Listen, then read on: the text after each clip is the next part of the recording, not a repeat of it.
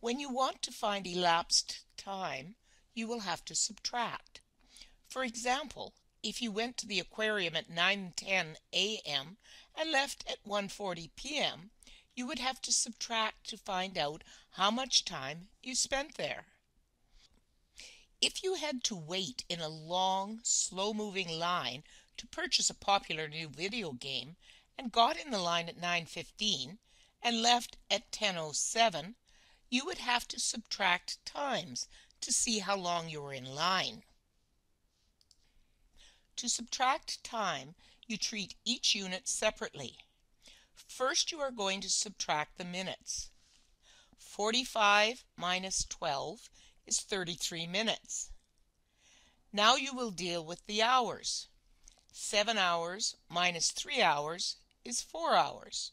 So 7 hours 45 minutes minus 3 hours 12 minutes is 4 hours 33 minutes. This time you are going to subtract 6 hours 40 minutes from 8 hours 25 minutes. Start with the minutes. Oh no, there is a problem. In order to do this subtraction, you are going to have to borrow one hour and convert it into minutes. If you borrow an hour from 8, this will give you 7 hours and 60 plus 25 minutes.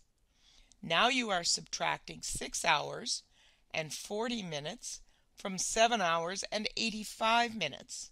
This will give you 1 hour and 45 minutes.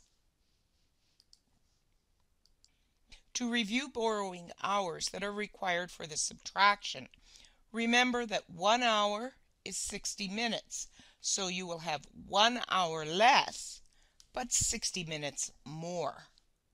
You are converting 1 hour into 60 minutes.